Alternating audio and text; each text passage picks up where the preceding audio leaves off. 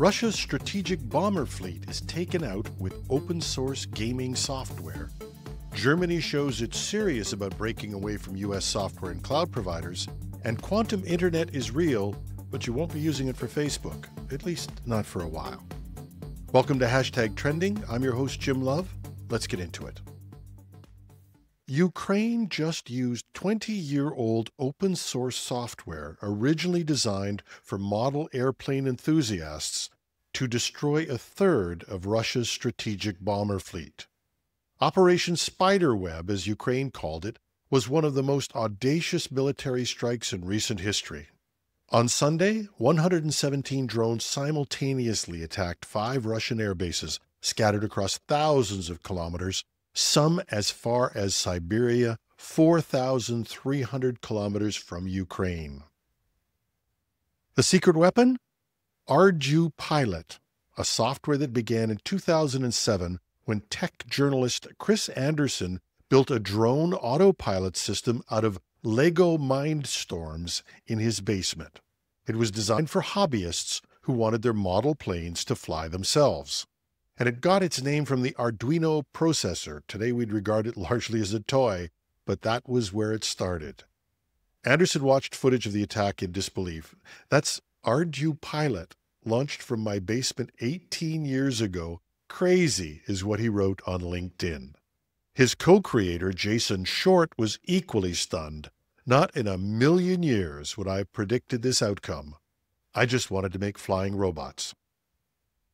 As simple as the technology was behind it, the operation was complex. It took 18 months to plan. Ukrainian agents smuggled drones into Russia, hidden inside trucks with false roofs that looked like ordinary cargo containers. And when the attack began, the roofs opened remotely and drones launched simultaneously across multiple time zones. The beauty of using something simple like ArduPilot was its reliability under poor conditions. While Ukrainian operators controlled the drones via Russian mobile networks from hundreds of kilometers away, the software handled stabilization and basic navigation even when communication lagged. The attack represents something absolutely astonishing. $2,000 drones running free software destroyed $7 billion worth of strategic bombers. It's asymmetric warfare taken to its absolute extreme. Hobbyist technology defeating some of the world's most sophisticated military equipment. As one drone expert put it, modern warfare now belongs to those who can innovate while keeping costs down. When open source software developed for weekend hobbyists can take out a nation's strategic air force, we're clearly in a new era. And the creators of ArduPilot never intended their weekend project to reshape geopolitics, but sometimes that's just how history gets made. And speaking of another historic moment, here's something that sounds like it's out of science fiction, but it's actually happening right now. Researchers have successfully sent quantum messages across more than 250 kilometers using ordinary fiber optic cables. The quantum internet is no longer just a concept or a dream. The recent breakthrough happened in Germany, connecting Frankfurt and Kassel with a relay station in between. Now, what makes this special isn't just the distance, it's that they did it using almost normal infrastructure. We're talking about standard commercial fiber optic cables at room temperature, proving this technology can work outside the laboratory. And the magic here is quantum key distribution. It's an ultra secure way of sharing encryption keys. If someone tries to intercept a quantum message, they destroy it in the process. It's sort of like Schrodinger's message. Even if they're fine with destroying it, they won't get much useful information out of it. And the point is, this is no longer just academic research. The Japanese company Toshiba recently announced they've successfully combined quantum key distribution with regular internet traffic in a single fiber cable, meaning quantum security could potentially run alongside your normal internet connection. But before you get too excited about quantum encrypted cat videos, there's a sobering reality. the quantum bit rate in that German demonstration was about 100 bits per second. Now, to put that in perspective, if I've got this right, it was a long time ago. For those of you who remember your first 300 baud dial up modem, those modems were about three times faster at about 300 bits per second. Now, fortunately for most of us, quantum security is massive overkill. You don't need a quantum computer and its encryption to shop on Amazon or even to do your own online banking. In fact, the U.S. National Security Agency has explicitly advised its government against using quantum key distribution. Their reasoning? They say it's expensive, unnecessary, and very susceptible to noise, which makes denial of service attacks much easier. And we already have what is called post quantum cryptography security protocols that can't be cracked by quantum computers and don't require quantum infrastructure to create or send. Matter of fact, some of the VPN providers already have this. So, why pursue the quantum internet? Right now, the most likely usages might be to communicate between quantum computers themselves. There are a few other practical uses yet. But as we move towards quantum computing, this is just another step in establishing that it is, is a reality, although one, at least for now, that we're struggling to imagine how we can really put to good use.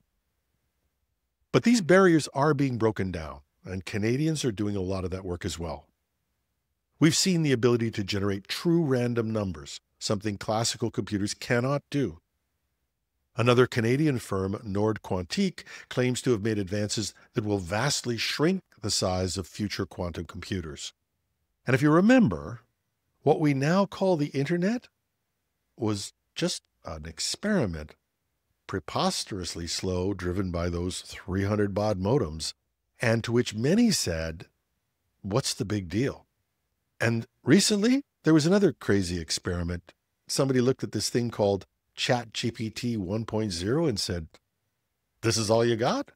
Quantum internet is possible. So these developments, although they don't have an immediate use, will undoubtedly be part of the future. If you're interested in this topic, there's a great video from Sabine Hossenfelder. I mentioned the physicist turned YouTube host that covers it really well. She covers the science of it accurately, and you don't need a degree in physics. I'll post a link in the show notes. So, quantum internet is possible? Don't cancel your regular service anytime soon. Two announcements this week perfectly capture Europe's complex relationship with digital sovereignty and a new determination to break free from American tech dominance. Germany's new digital minister, Karsten Wildberger, made his intentions crystal clear at the Republica conference. He wants open standards and open source to become the guiding principle for German technology policy. His goal? Reducing dependence on U.S. tech giants and building what he calls a Germany stack, a unified IT infrastructure based on European values.